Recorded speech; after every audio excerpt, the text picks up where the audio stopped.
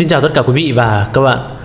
Những năm trở lại đây, nhiều dự án bất động sản lấn biển đã được đầu tư xây dựng phổ biến.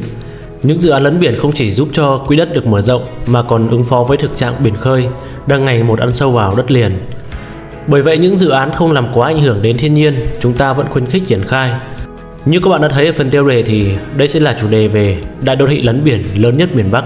Hãy cùng xem tại đây có những gì mà được giới truyền thông đặt cho cái tên mỹ miều đến như vậy Chúng ta hãy cùng bắt đầu ngay bây giờ.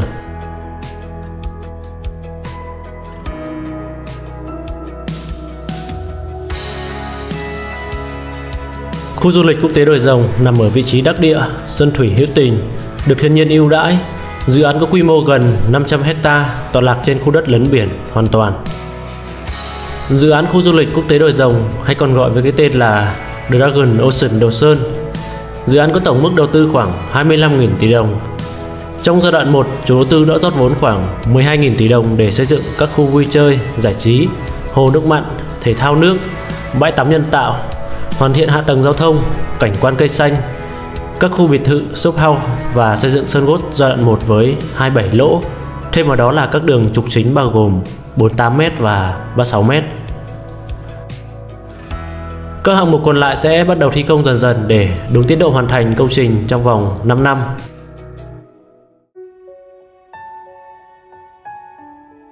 Khu du lịch sinh thái nghỉ dưỡng sở hữu biệt thự, khách sạn 5 sao cao cấp lớn nhất Hải Phòng, góp phần đưa Hải Phòng trở thành điểm đến du lịch hấp dẫn của Việt Nam và thế giới. Lần đầu tiên Hải Phòng khai trương bãi tắm nhân tạo tại khu du lịch quốc tế Đồi Rồng.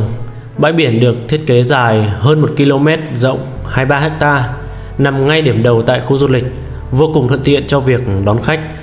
Ngoài ra bãi biển còn có nguồn nước sạch mát từ công nghệ lọc nước của nước ngoài Dự án sẽ đáp ứng được nhu cầu tắm biển an toàn của du khách và khắc phục tình trạng bùn lầy của các bãi biển tại miền núi.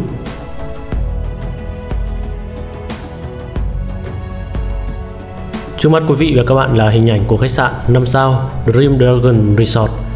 Và khách sạn này thì đã được đưa vào khai thác vận hành với quy mô gần 11 tầng nổi và 303 phòng nghỉ cao cấp. Mặt trước của khách sạn là không gian rộng bao la của các bãi tắm nhân tạo ở sảnh trước của khách sạn bao gồm các tầng 1, 2, 3 đều là những khoảng không gian rất rộng và ngập tràn cây xanh.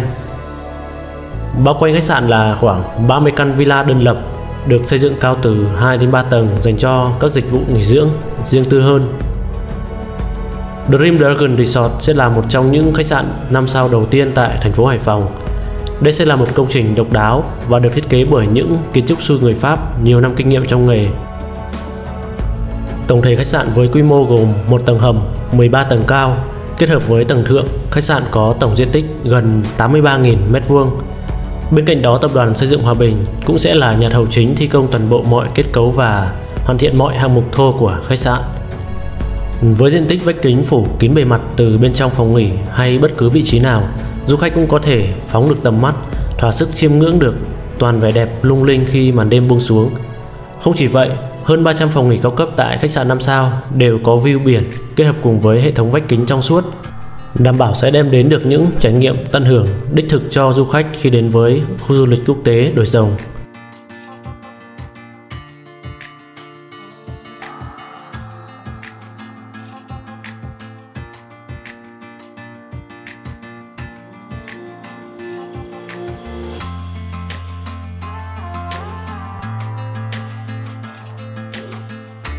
Hiện tại khu du lịch quốc tế Đồi Rồng Đồ Sơn đang miễn phí vé vào cổng. Tuy nhiên nếu có nhu cầu tắm biển thì giá vé sẽ rơi vào khoảng 100.000 trên người. Đây là bãi biển nhân tạo nhưng đã được xử lý qua hệ thống lọc chất lượng cao, đảm bảo an toàn cho người sử dụng. Cũng bởi vậy du khách sẽ cần chi trả vé sử dụng cho các dịch vụ tắm biển hoặc các tiện ích khác. Nếu chỉ tham quan và chiêm ngưỡng hay check-in sống ảo thì sẽ không phát sinh bất cứ chi phí nào những phút giây trải nghiệm đầy bổ ích và khám phá chắc chắn sẽ khó quên với bất kỳ vị khách nào ghé thăm nơi đây. Là một tổ hợp du lịch hội tụ nhiều hoạt động giải trí, quý vị và các bạn có thể tới khu du lịch quốc tế Đồi Rồng vào bất cứ thời gian nào trong năm. Tuy nhiên nếu tới Đồi Rồng vào các tháng trong mùa đông thì một vài hoạt động khám phá sẽ bị hạn chế do thời tiết lạnh, không thích hợp để tắm biển nhân tạo. Bởi vậy để có một hành trình trải nghiệm thú vị và trọn vẹn nhất thì bạn nên ghé khu du lịch quốc tế Đồi Rồng vào mùa hè từ tháng 5 đến tháng 9. Vào lúc đó thời tiết ở Đồ Sơn khá là dễ chịu, mưa ít, thuận lợi trong việc đi lại, vui chơi khám phá. Tuy nhiên thời gian từ tháng 8 đến tháng 9 thì ở Đồ Sơn cũng thường xuyên xuất hiện những cơn mưa bão có xu hướng dịch chuyển vào đất liền Hải Phòng.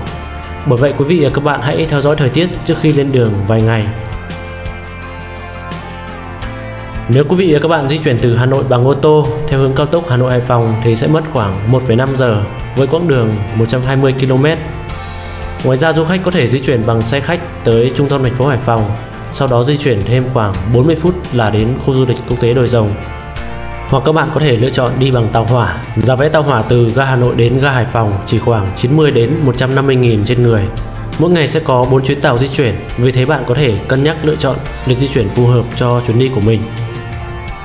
Đối với các bạn ở xa thì có thể di chuyển bằng máy bay, bay đến sân bay Cát Bi, sau đó di chuyển khoảng 20 phút bằng ô tô hoặc taxi để đến khu du lịch. Ngoài ra khách quốc tế có thể di chuyển bằng đường biển đến cảng Đình Vũ, Hải Phòng và di chuyển khoảng 20 phút bằng ô tô là đến khu du lịch quốc tế Đồi Rồng.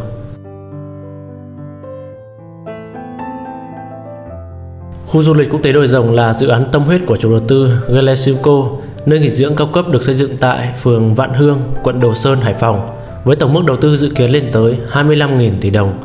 Dự án được đánh giá góp phần vào sự tăng trưởng kinh tế du lịch để Hải Phòng trở thành điểm đến hấp dẫn của Việt Nam và thế giới. Đồ Sơn là điểm đến thu hút nhất nhì tại thành phố Hoa Phượng Đỏ với bãi biển rộng lớn, nhiều danh lam thắng cảnh và di tích lịch sử. Đến với khu du lịch quốc tế Đồi Rồng, du khách sẽ phải bất ngờ trước sự hoành tráng và đầu tư chuyên nghiệp. Lần đầu tiên Hải Phòng xuất hiện bãi biển nhân tạo dài đến 1 km, sử dụng cát trắng tự nhiên và hàng dừa xanh mát, Công nghệ lọc nước sạch ứng dụng từ các nước tiên tiến gạt đi nỗi lo nước đục như biển Đồ Sơn. Du khách có thể tham quan và vui chơi cảm thấy thoải mái, dễ chịu và hài lòng. Dự án còn sở hữu hệ thống tiện ích cực đỉnh và đầy đủ, chưa có dự án nào ở Hải Phòng làm được. Những hạng mục trọng điểm bao gồm sân golf 27 lỗ, trung tâm hội nghị và hội thảo quốc tế, khách sạn 5 sao resort, trung tâm thương mại, bể bơi và công viên. Dự án dự kiến hoàn thành trong 5 năm, chia làm hai giai đoạn – Giai đoạn 1 từ năm 2019 đến năm 2020 Giai đoạn 2 từ năm 2021 và hoàn thành trong năm 2023 Ở giai đoạn 1, chủ đầu tư Galesimco đã chi khoảng 12.000 tỷ đồng xây dựng khu thể thao nước, khu vui chơi giải trí, hồ nước mặn. Cùng với đó là hoàn thành các hạng mục hạ tầng giao thông, trục đường chính, cảnh quan cây xanh cùng với một số tiện ích nội khu khác. Và đó cũng là điểm kết trong video ngày hôm nay, chủ đề về đại đô thị lấn biển lớn nhất miền Bắc. Nếu các bạn có thêm những thông tin nào khác thú vị về khu du lịch này hoặc có thể gợi mở về một chủ đề nào khác, các bạn hãy chia sẻ dưới phần bình luận để mọi người cùng biết nhé. Nếu các bạn thấy hay xin hãy bấm đăng ký, bật chuông thông báo để ủng hộ kênh. Xin trân trọng cảm ơn các bạn. Còn bây giờ thì xin được nói lời chào, tạm biệt.